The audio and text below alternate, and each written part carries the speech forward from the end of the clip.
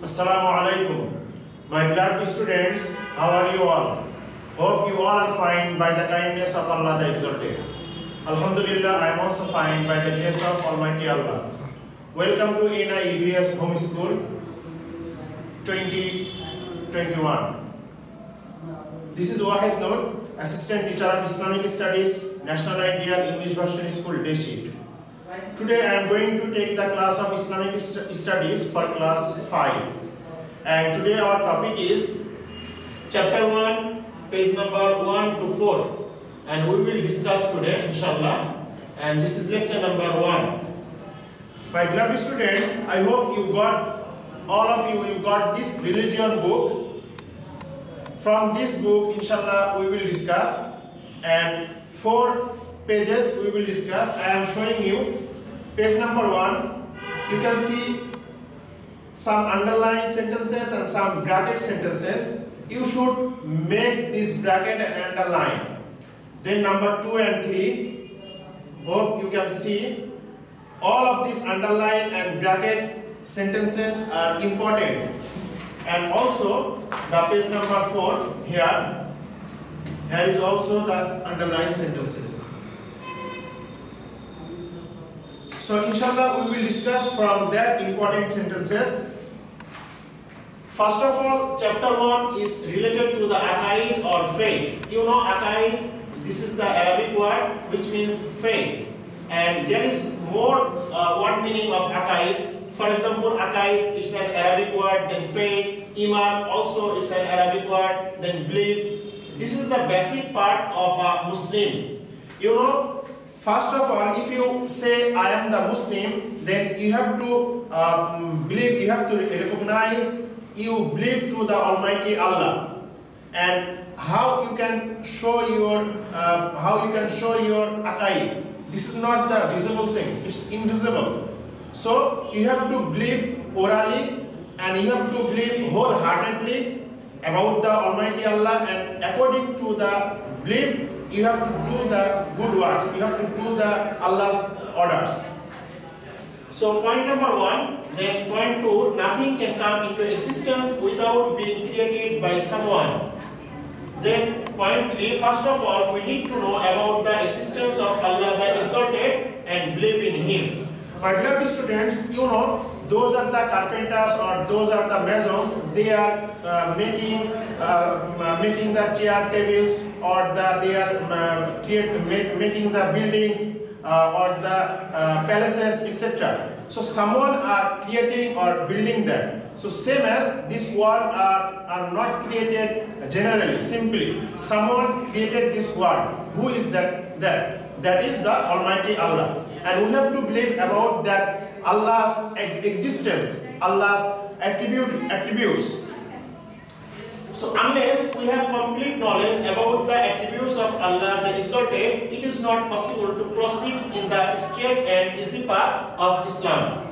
My beloved students, if you believe about the attributes of Almighty Allah or the existence of Almighty Allah, then you can go to the right way. You can go ahead. Otherwise, you cannot do any work correctly because first condition for, for the Muslims, for the Mumin, they have to believe the existence of Almighty Allah and His attributes also.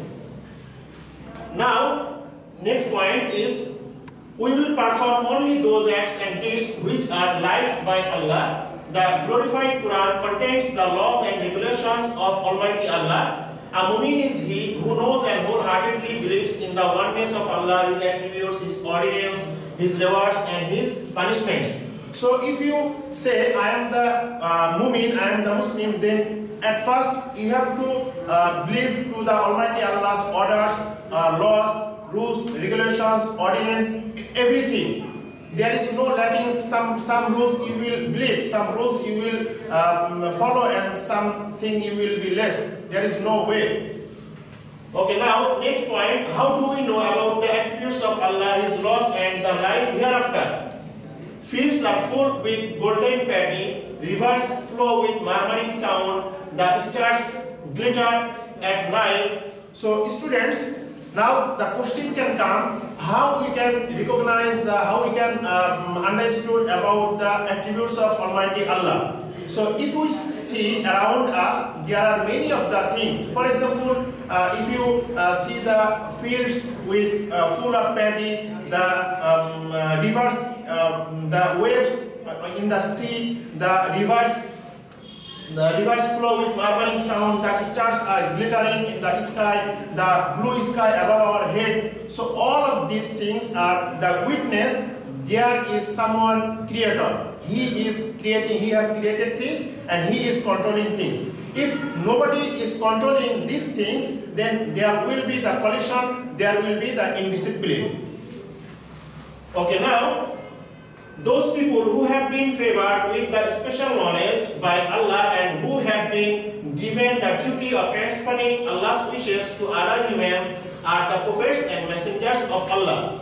My beloved students, now you can uh, now uh, we will know how we will know about this information. So Almighty Allah selected among the whole uh, people uh, some spe- special uh, human being. Those are called the messengers or prophets. Almighty Allah given them the special knowledge. Almighty Allah informed them about Allah's uh, attributes and that prophets and messengers they transfer, they uh, reach that duty to each other. For example, Prophet ﷺ informed at first about the Almighty Allah, the rules, regulations, and then he transferred that information to the Sahabis or the uh, another uh, persons. So they were the prophets and messengers. Those are collected the information of Almighty Allah uh, through the uh, through the uh, angel Jibril alayhi salam through the Wahi.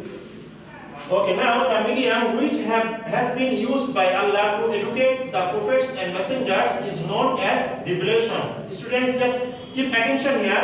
The medium which has been used by Allah to educate the prophets and messengers is known as revelation.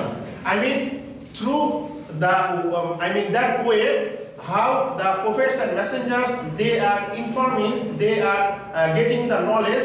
That way are called the revelation or the wahi which is the speech of Almighty Allah.